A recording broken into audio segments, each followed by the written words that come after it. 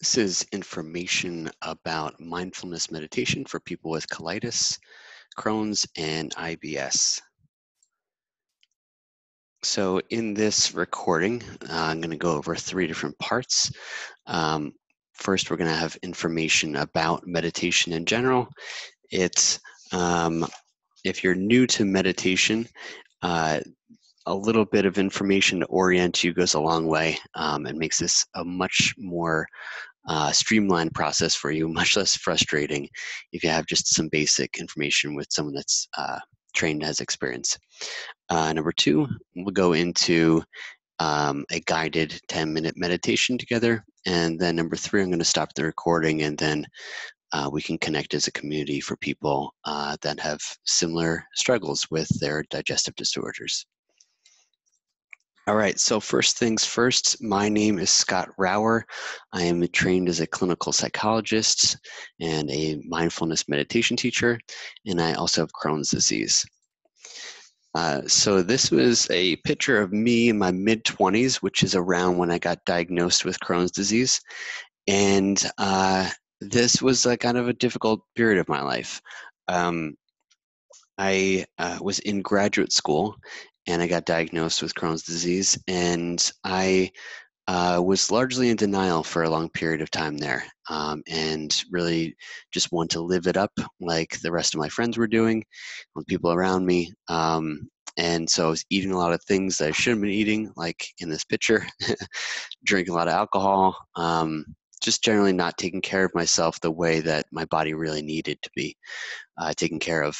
Um, lots of steroids, medications, lots of bottles of Ensure, um, and lots of really hard, lonely, painful nights on the toilet. Um, there's a bunch of moments that really stood out. Uh, you know, I, I, can't continue to live like this. Um, and it was only years later that I was looking at my medical records, and my gastroenterologist um, had written in the notes, you know, clearly a stress connection to Scott's flares. Um, this was not something he discussed with me. If anything, he really was not uh, supportive of lifestyle change or di- even diet change. Um, it was really about surgery and medications uh, with him.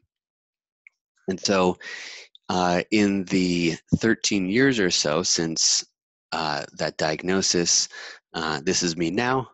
This is my little baby. And I've really come a long way um, into finding what is a stable base for me. Um, so almost all the time, I can uh, keep myself in remission from my Crohn's disease. I wouldn't call it a cure, but I'm very functional, and it's kind of a rare thing if my Crohn's flares up enough to really get in the way of my life. And I found for me personally, that's come to three things um, what I call the three M's um, moderated diet, medication, and mindfulness. And there's a ton of information and resources about the first two, but not nearly as much about the third one, especially for people with uh, Crohn's, colitis, or IBS. So that's why I'm here um, to help uh, provide the information that I it took me quite a long time to figure out for myself. Um, but these are the three uh, stable uh, components of uh, what creates stability for me. If I don't have all three of these as a part of my daily life, I go down the toilet pretty quick. Um, so let's get into meditation. So if you aren't familiar with meditation, then there's a myth. It's a very, very common myth to fall into, uh, to get um, caught up in, I should say. And it is based on the idea that meditation is about quieting the mind, or what I would say is more accurate to say is stabilizing the mind. But quieting the mind works. It's a general way of talking about things. And so there's an assumption that we make. If the what we're after is to quiet the mind, then the how is that okay meditation is this practice about stopping my thoughts and this is such a common um, uh, misunderstanding that it quickly will burn will burn you out if that if you're go about this to start to kind of turn inside, follow your breath, um, and then in doing that, you're trying to stop thinking. Uh, you're going to make your mind the enemy and it's just going to wear you out. You're going to very easily start to think, you know, this just isn't for me. My mind is too busy. I can't do this. I'm not cut out for it. Um, and the reality is that we all have a very hard time stopping thoughts because it's impossible. So, the idea that we want to work with our mind, not against our mind. Our mind secretes thoughts just like organs secrete enzymes. Uh, it's all a natural process, and thinking is a natural and expected part of meditation.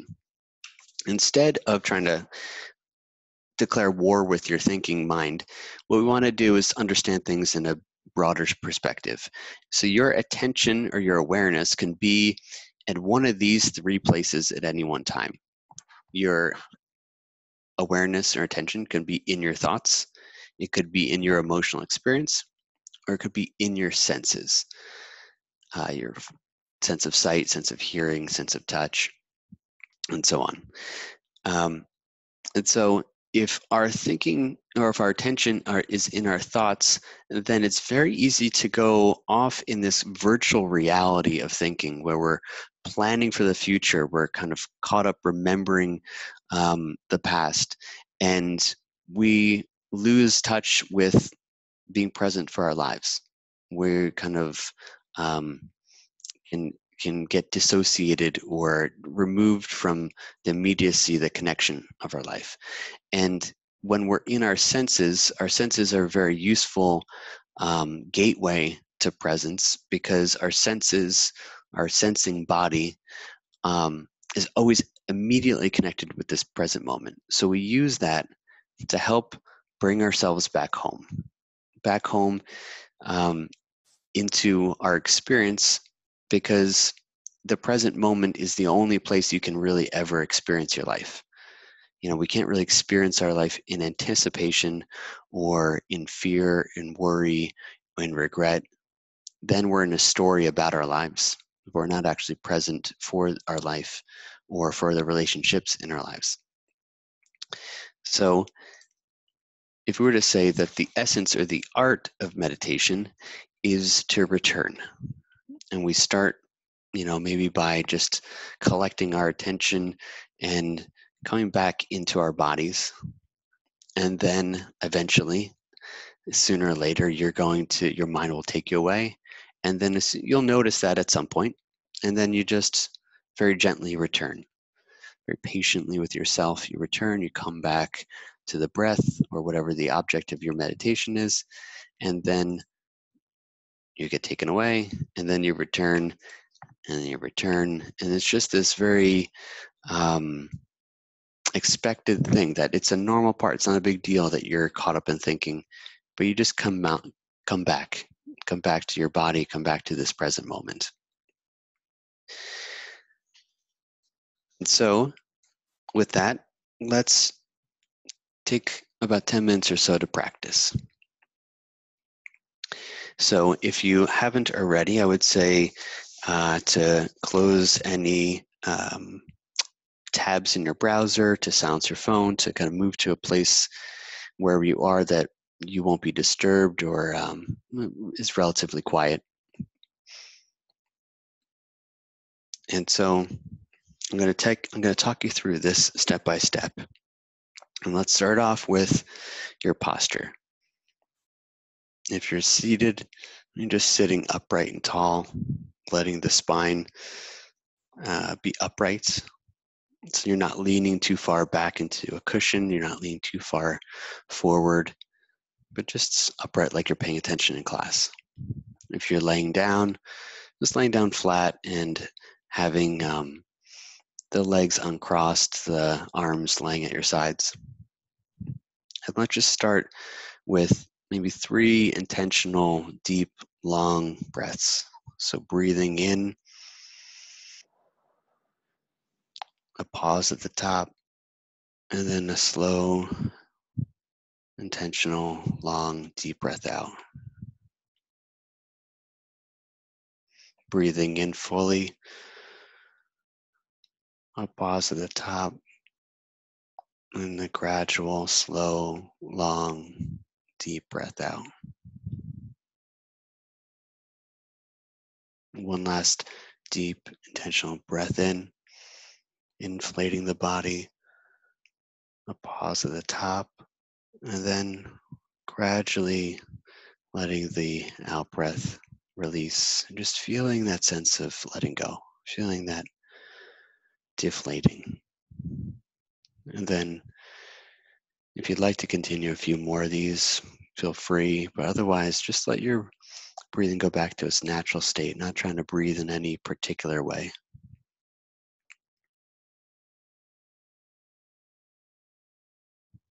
And so, when you're just noticing what it's like inside, you might become aware that there's some kind of gripping, there's clenching or tightness inside there in inside your body.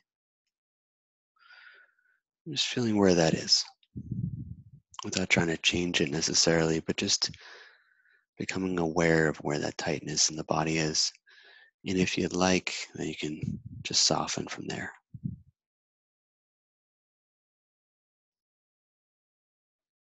And then if we take the spotlight of our attention and place it above the eyebrows into the forehead, just feeling what that area feels like.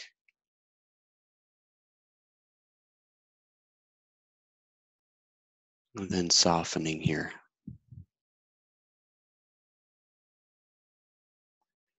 Noticing what it feels like in the area around the eyes, all these muscles. Whatever sensations are present in this area, and then seeing if it can just soften, ease up.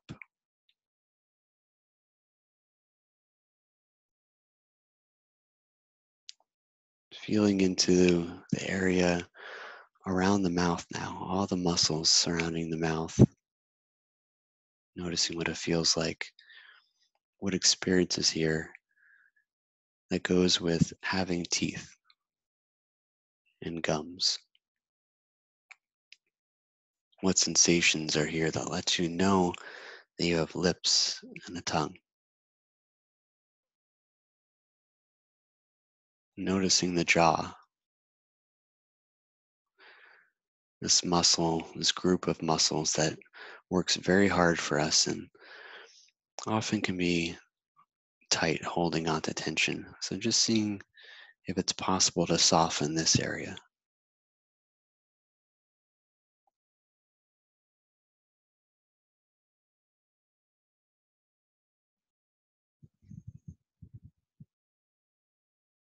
And then moving down, just noticing what it feels like inside the neck and the shoulders. Obviously, a classic place for tightness and tension. And just see if you can notice the subtle rise of the shoulders with the in breath and the subtle falling with the out breath.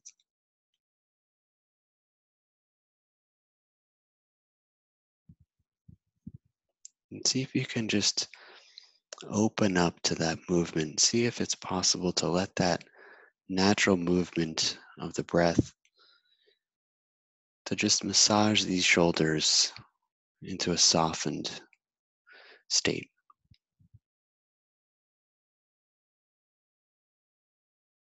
Nothing to hold on to, nothing to resist, to just gently allow the muscles to loosen, to fall back and down, away from the ears.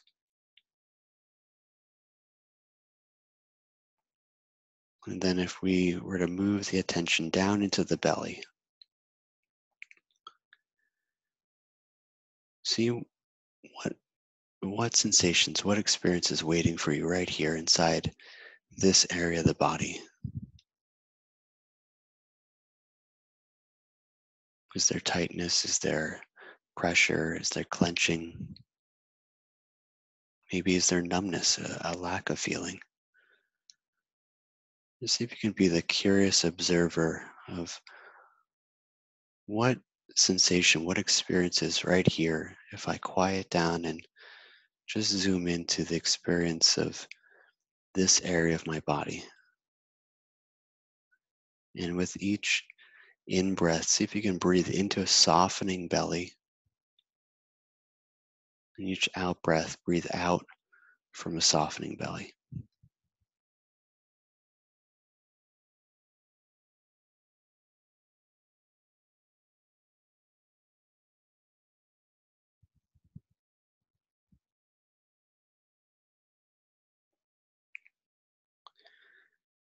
And now if we just notice that just the natural process of breathing here that doesn't need to be controlled in any way. The, the breath, as it does its natural thing, just has a natural rise and fall effect on the body. You might notice it coming into the nostrils. You might notice it in the chest or the belly. And if you can't, maybe just placing a hand on the belly so you can connect with that experience.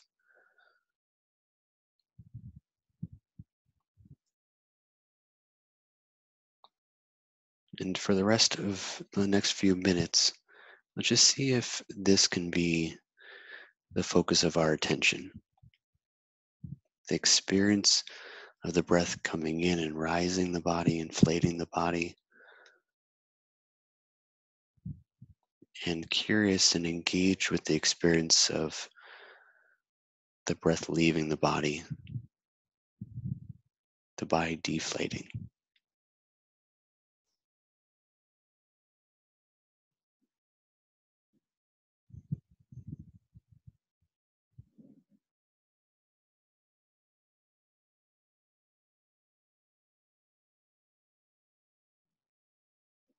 And of course, it's completely natural if the mind wanders. Our only intention for these next couple more minutes is just to relax back open, to just be with this experience right here that's happening in this moment.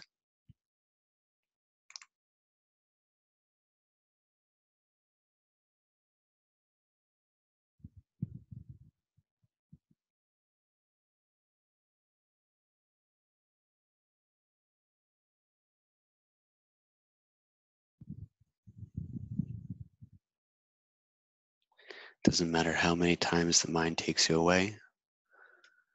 We just pause, relax back open, and allow ourselves to just engage with the life that's here right now.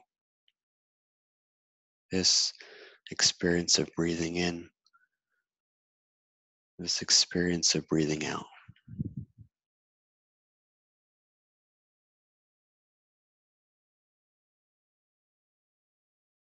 It doesn't matter how busy the mind is or what's even going on in the body, as, as long as you're aware at some point, in some way, if you're aware that you're breathing in as you're breathing in, and if you're aware that you're breathing out as you're breathing out, then you're doing just fine.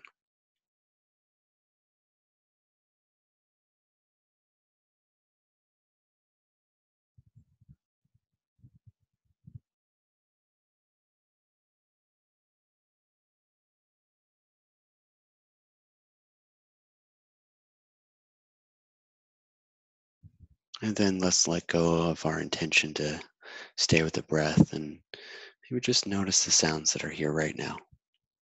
There's my voice, but there's also sounds that are happening in the environment you're in right now. There's maybe sounds coming from your breathing body. And just take a moment to to pause before you move, before you move on to the next thing. Just see if you can just take in this moment right here as if it's completely fresh, completely new.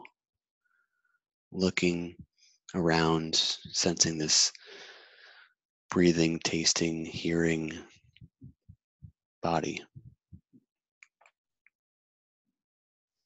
And then I'm going to stop the recording here and then we'll connect as a community and kind of talk about our experience from here.